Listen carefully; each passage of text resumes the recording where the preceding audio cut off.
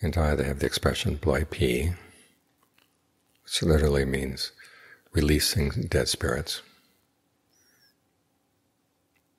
It comes from a habit of people who practice black magic that have spells that force dead spirits to do their dirty work.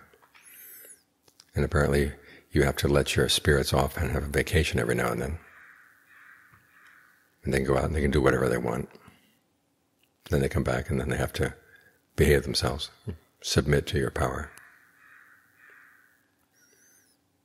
And the expression is also taken on another meaning, which means basically you've been feeling cooped up, you've been feeling bottled up, and you're just going to let everything out. So, so if you're going up the mountain today, make sure you don't bloi pi. Getting out in nature is a good time to be mindful. It's just you and nature. And you want to watch your mind as you go through nature. This is what the Ajahns would do when they would go on their tudong. It wasn't that they were going out just for the, the fun of it. They had a purpose.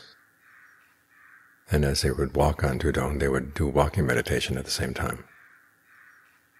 Stay with your body, stay with your mind, because that's where all the really interesting things are.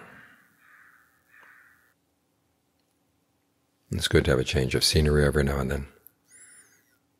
But again, that's only in the background. The foreground should be the mind. There was one time we had a monk visiting from Bangkok at Wat Dhammasathit. And one evening as the sun was setting and the, the rays of the sun were almost horizontal as just before the sunset, a golden color going across the fields. It was very pretty. And he happened to comment on how pretty the sunset was. And Ajaan Fuang's immediate comment was, well, who's saying that it's pretty? Watch that person. Because that's the instigator. That's the troublemaker. And sometimes when you change your scenery, you get to see the troublemaker in new ways that you wouldn't have seen if you just went through the same routine day in and day out. So that's the advantage of getting out, changing scenery. Throws your mind into a new perspective. Because as I said last night when the Buddha talks about mindfulness, when you're sitting in formal meditation, he says stay anchored with the breath, even when you're engaged in the other frames of reference feelings, mind states, mental qualities. The breath is your reference. Everything gathers here. When you're out and about, try to maintain restraint of the senses. Again, stay with the body. That's your post that the animals get tied to, so they don't go dragging one another off into strange directions.